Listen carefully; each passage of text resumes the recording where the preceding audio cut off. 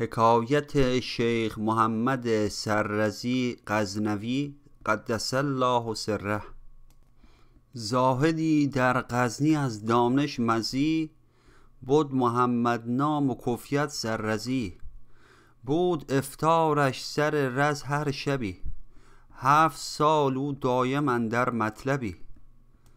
بس عجایب دید از شاه وجود لیک مقصودش جمال شاه بود.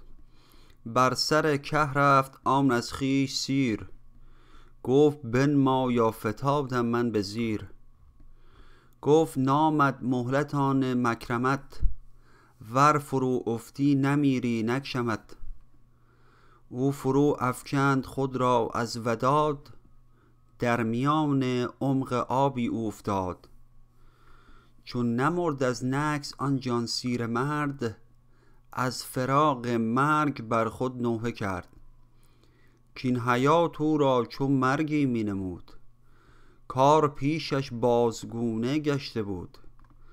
موت را از غیب می کرد او کدی ان فی موتی حیاتی می زدی. موت را چون زندگی قابل شده. با هلاک جان خود یک دل شده. سیف و خنجر چون علی ریحان او.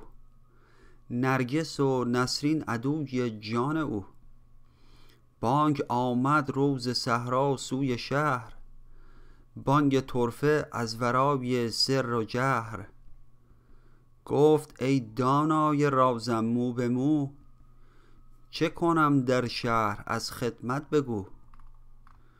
گفت خدمت آن که بهر زل نفس خیش را سازی تو چون عباس دبس.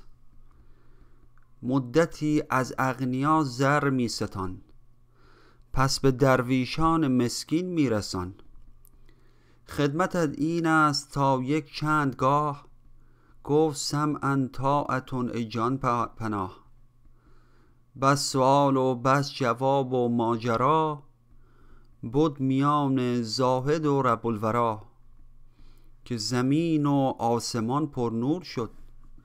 در مقالات آن همه مذکور شد. لیک کوته کردم آن گفتار را تا ننوشد هر خسی اسرار را.